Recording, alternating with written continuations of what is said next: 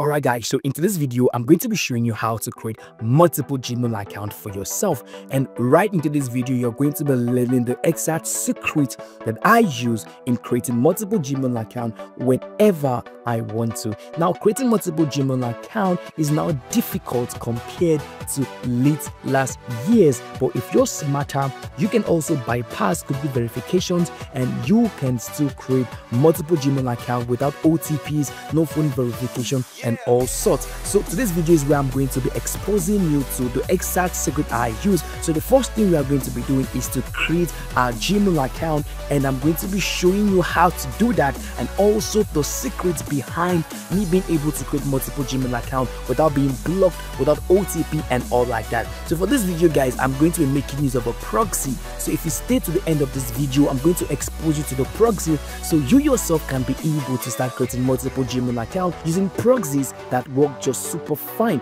So let's get started and I want you to watch to the very end so you can see the proxies that I make use of. Now the first I'm going to do is to create a Gmail account. Alright, so right from here it's simple. All you need to do is to just uh, input your first name. So for me, I'm going to quickly do that. And um, right here, I'm going to also um, go ahead and add in my last name and I'm going to click on next.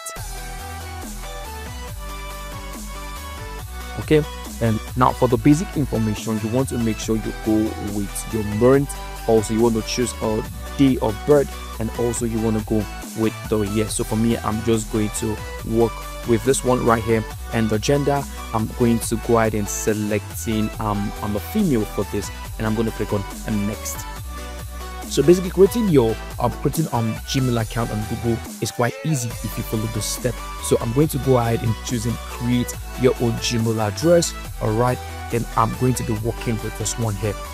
And right for me is where I want to add in my password. Okay, so for the password, I'm just going to make sure this is actually real. Alright, to avoid Google asking me to rewrite a new password. And once I'm done with that right now, I'm going to click on next Alright guys, so you can see we were brought over to the recovery email address and this is where many of you would like to be out. So if you follow the exact steps that I share with you in this video, you should have it um, um you should have or you should have this also being displayed on your screen. All right now for the recovery email i'm just going to skip this because i don't want to add in any. And here we go guys. You can see we have our account already created and i'm just going to click on next to proceed.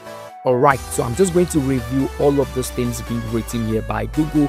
And once i'm done with that all right i'm going to uh, come down all right and i'm going to click on i agree.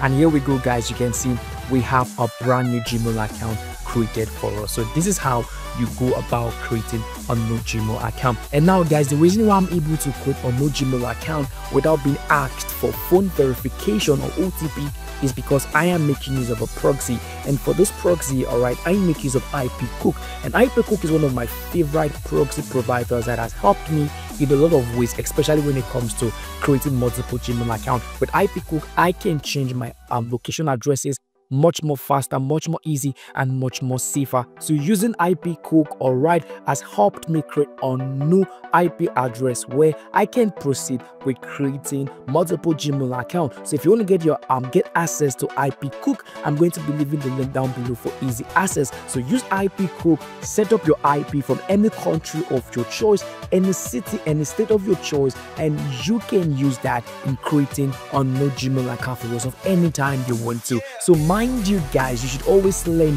to rotate your IPs so as to avoid Google blocking your account or restricting you from creating no Gmail account anytime you want to. So if you found this video helpful, please smash the like button and let me know what you think about this video in the comment section below. And I hope that this will help you get the job done. Let me know if you have any issues and I'll make sure to create more content similar to this on how to create multiple Gmail account even in the new year. Bye.